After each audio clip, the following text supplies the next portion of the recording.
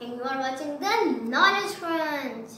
Today I will perform some science experiments which are full of fun and learning. Before starting our experiment, please like my video and subscribe my channel. So let's get started. First of all, I want to ask an interesting riddle from you and I will share its answer in the end of my video. If you know the answer, so please write in the chat box.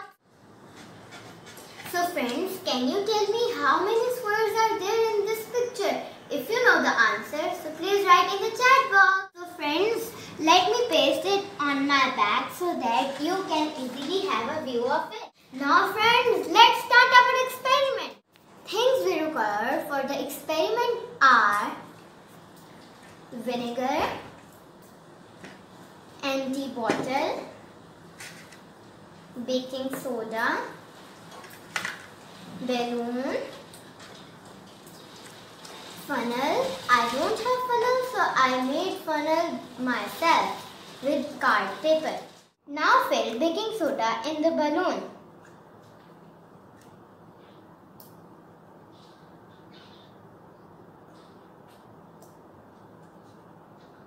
Now I pour vinegar in this bottle.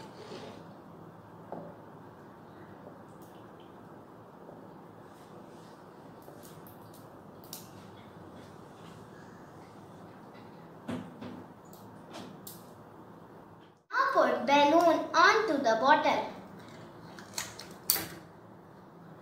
Now let's see what will happen.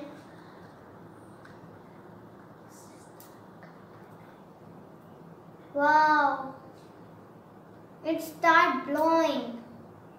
This is the formation of carbon dioxide gas.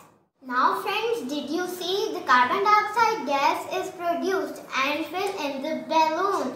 It's why balloon is start blowing. Now friends, it's a time for the answer of the riddle. So, it has 10 squares. Friends, I hope you like my video. With your friends.